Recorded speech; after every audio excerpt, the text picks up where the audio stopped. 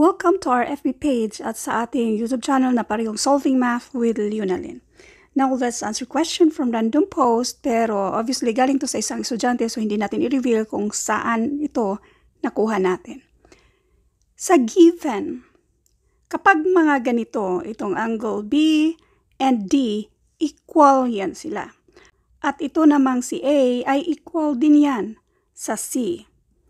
So, ang nasa given dito, yung angle B at C, D.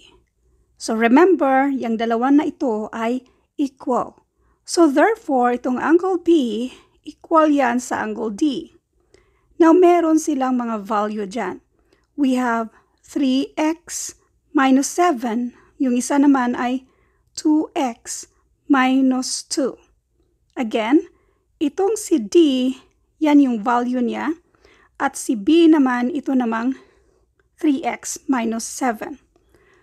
So, pwede na natin yang isolve since equal sila. Now, ang gagawin lang naman natin ay ipagsama yung mga like terms.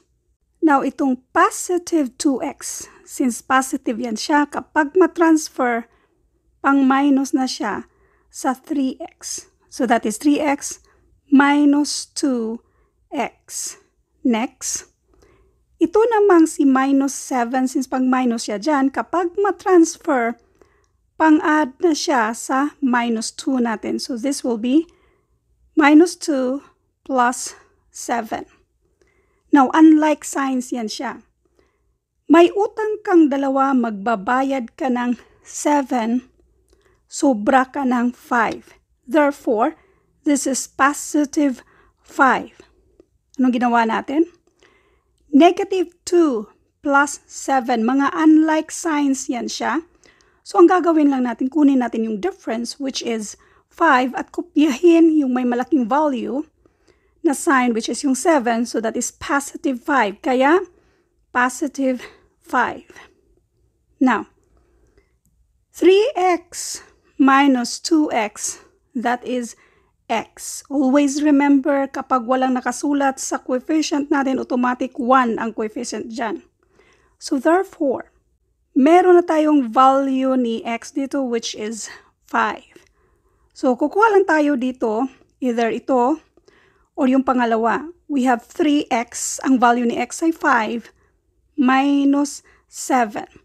3 times 5 and this is 15 minus 7 equals 8. Now, dito tayo sa isa pa. We have 2x minus 2. Ang value ni x ay 5. So, 2 times 5 minus 2. 2 times 5 and this is 10 minus 2 equals 8. Therefore, yung mga value sa mga itong mga angle na ito ay parihong 8. Thank you for watching and all. I hope meron kayong natutunan sa video ito. Thank you and God bless.